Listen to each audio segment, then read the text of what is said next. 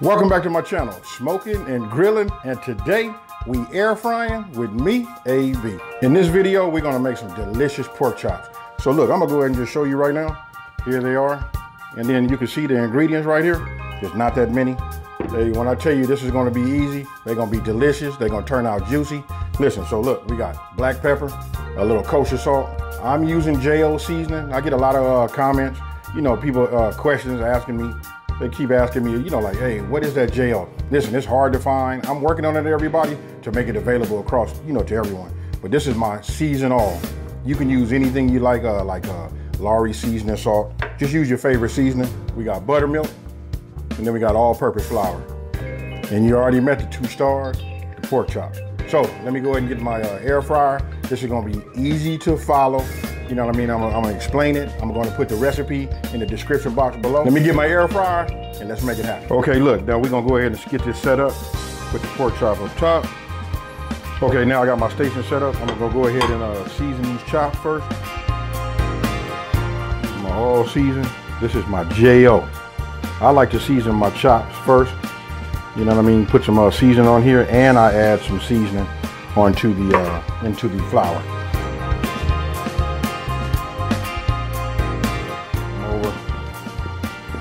Repeat.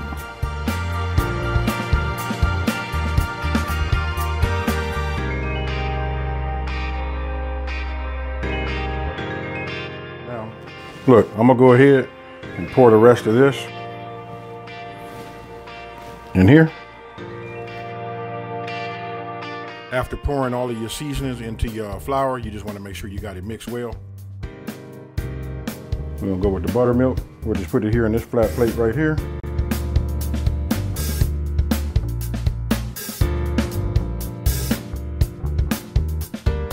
When you dip your pork chops into your buttermilk, you want to make sure you coat the edges. That way, when you apply your uh, your flour, you want it to get all over, you know, completely. That's where you see I'm using that spoon.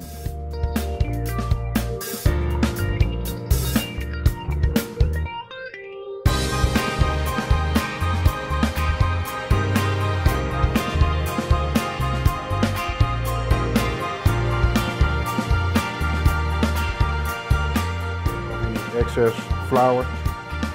We go right over here to the air fryer. Listen, there's nothing wrong with you stacking them. I don't stack them. You know what I mean? I just like to, you know, just for the size and everything. I got them on a rack in the inside, and I like to keep them with a little space. You know what I mean? Uh, I could have put three in here, but this, you know, and again, you can stack them. I made them like that when I do family uh, packs of pork chops, but that's my setup right there. Okay, once you got them on your rack and you got everything set, I take a little cooking spray, and listen, I just spray lightly on the top, just to help them get that golden brown. That's it. Nothing too heavy. Let's go ahead and close the lid. Hit power. We're gonna set our time. 15 minutes.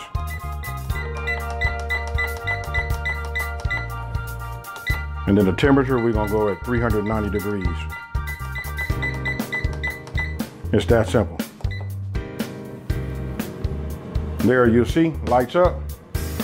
You can see in this model here, your lights up, you can actually see in the inside. And then listen, we'll take a look at it again in about like, maybe about seven and a half minutes just to see how it's cooking.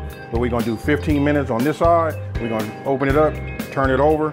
You know what I mean? See how it's cooking on the bottom side. Then we're gonna go for another 10. So 25 minutes total.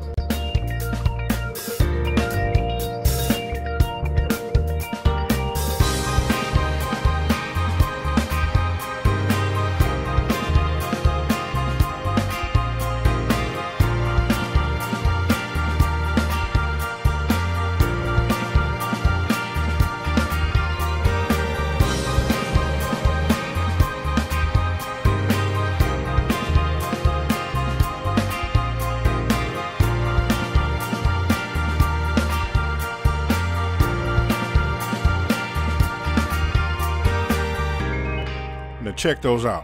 If these aren't some good looking pork chops, I don't know what is. You know what I mean? Uh, hey, Lynn, listen, you can tell everybody that have all these questions like, can you get a good air fried pork chop after you do this this way? Hey, you can tell them, yes, sir. Look, it's that simple. you seen how these look when they come out of the air fryer. You know what I mean? Uh, these are like just, hey, I can just see them. They're gonna be like super juicy. And listen, you can go ahead and adjust your temperature. Like I went with the 390 degrees. You can go with 410. You can go with, you know, when we flipped them over for the second time, you can go with, instead of going 10 minutes, you can add, you know, two or three extra more minutes if you want it to be a little bit more crispy. But with me, I like mine to be tender, juicy. And uh, hey, listen, enough talk. Let's go ahead and uh, cut one of these open and let's get right into it. Oh man, you can see how tender that is. Look.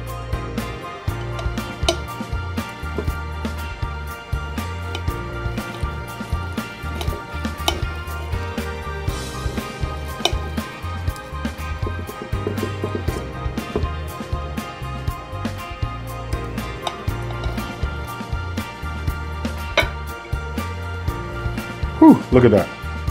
When I tell you tender, juicy, look. Oh, man.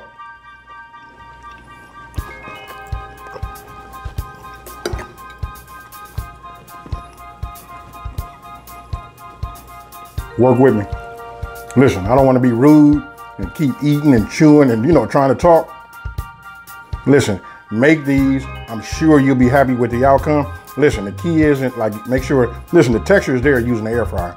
But what you really want to do is you want to make sure that you season your flour and then make sure you put a little seasoning onto your pork chop. Outside of that, I can't tell you, I can't really say nothing, but hey, you gotta try it. So listen, leave me a comment down in the, uh, the comment section down below and let me know, you know, what you guys think of this. I think this right here, this is another go-getter. You know what I mean? Uh, other than that, I want to say, hey, thank you for watching. If you're new to the channel, you know, I'm gonna go ahead and just say welcome. Don't forget to subscribe. You know what? You guys that haven't hit the bell, hit the bell. Cause listen, I got a lot of things like this coming, you know, in the near future. So let's get it in. I'm out. Peace.